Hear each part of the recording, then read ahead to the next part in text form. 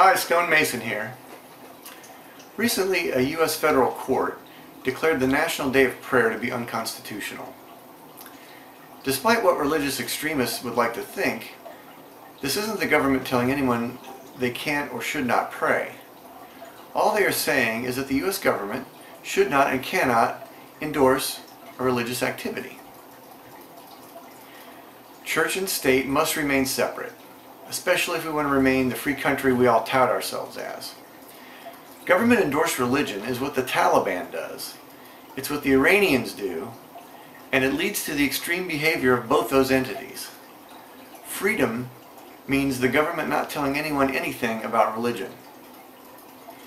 The question this decision raised in my mind was, well, what exactly is prayer? I'm sure religious dogmatists have a litany of things they like to say about prayer regarding what it is and how it works. But to someone outside that feedback loop of prayer leading to God and God leading to prayer, it seems obvious that what people call praying falls into two categories wishful thinking and contemplation. Most religious people really hope, and many really believe, that there is some special supernatural power in prayer, that the hand or mind or instrument of God can be guided to help in a specific way by people closing their eyes, bowing their heads, and begging with special language that invokes their God, or in some cases his son, or whatever they imagine their God to be. These prayers usually correspond with items or events that the person has not been able to achieve through his or her own earthly endeavors. And in desperation and fear, or in lust and desire, which in this case they call faith, they beg their God for the things they want. This kind of prayer is worthless and causes the most problems. For instance, some people turn to this kind of behavior in lieu of taking their diabetic child to see a physician and the child dies of an easily treatable condition. Or men whose constant repetition of this behavior allows them to gain enough confidence and determination to hijack airplanes full of innocent people and fly them into buildings full of innocent people. This, of course, is where religion goes the most wrong. When people pray and think they are talking to their God, who then tells them what he wants them to do, which coincidentally is what they wanted to do in the first place, or tells them he approves of their plans to do whatever atrocity they had planned in that God's name. Prayer is used in these cases to focus on the act the person has devised to defend or gain the attention of their God, and it pushes out rational thought and opposing viewpoints regardless of how correct those viewpoints are, with, the only, with only the dogmatic words of prayer leading the actions of the believer. Of course, there is no one they're talking to, no one answering, and no one listening. They're simply carrying on a dialogue with themselves. Hence, the fact that God always agrees with them, that they are always doing right by God and that God approves of their behavior. When was the last time you heard someone say, I prayed to God about what to do about all these damn homosexuals around trying to get married. And God told me that he created gay people just like everyone else. And that I should not hate my fellow man, no matter who God made them attracted to. And he said I should be tolerant and not worry about what others do with their genitals and allow gay people to get married like everyone else. I, for one, have watched a lot of Christian television, admittedly for comic relief, but I've seen lots of praying going on, and God has never disagreed with the ideas or morals of the person praying and claiming to bring His Word. If that person is a conservative, then God's a conservative. By the same token, in liberal churches, God is liberal. When believers pray to God, He tells them what they want to hear. For someone who values thinking, this should be a red flag. The other kind of prayer is simple contemplation, which all of us do, even atheists. We don't call it prayer, and those who believe they are praying to a God uh, do not call it contemplation. But we're both doing the same thing.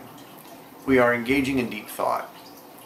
What the religious dogmatists are doing is simply replacing the word think with the word pray. I've heard religionists, especially Christians, say, I'll pray on that. Or, we should pray about that. Well, what they mean is that they should think about something. They should contemplate it. But they are so petrified of their imaginary God that they fear even taking credit for their own thoughts, and must believe that if they think of something good while praying about it, it must be God's thought and not theirs. This is very sad to me because these people don't give themselves credit for their own thoughts. And by the same token refuse to take responsibility for their own actions.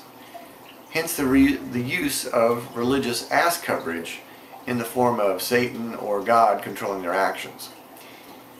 The imaginable bad results of this kind of thinking are endless. Atheists contemplate things all the time, but we have no illusions about talking to an invisible sky man. So although we are participating in the same activity as the religionists, a human activity called thinking, we are willing to recognize that we're thinking for ourselves. And we are also willing to take responsibility, good or bad, for those thoughts and what behaviors they inspire. Now obviously, for people whose lives are guided, surrounded, and constantly spent generating dogma, these prayers that are actually contemplation are good.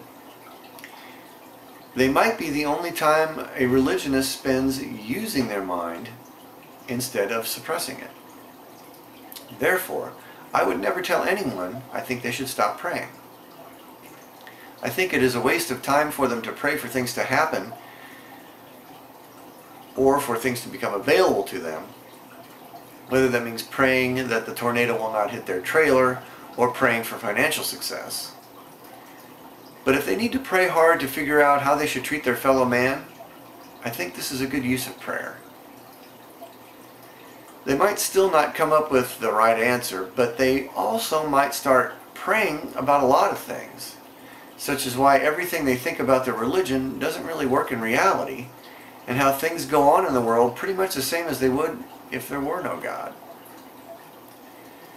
It could be through this contemplative prayer that they begin to see the light of reason and decide to educate themselves and really discover the truth about people who claim to know what happens after we die, a claim that constitutes the oldest swindle in human history. So I encourage religionists to pray. Pray hard and pray long about things you don't understand. Because you can call it what you want, but thought is what will lead you away from dogma, away from self-deception, and away from self-destruction. That's my latest video. I hope you enjoyed it. I'd like to say welcome to my all my new subscribers. I thank you for subscribing. I hope you'll recommend me to your friends. Please comment and rate the video and I'll see you next time. Thanks.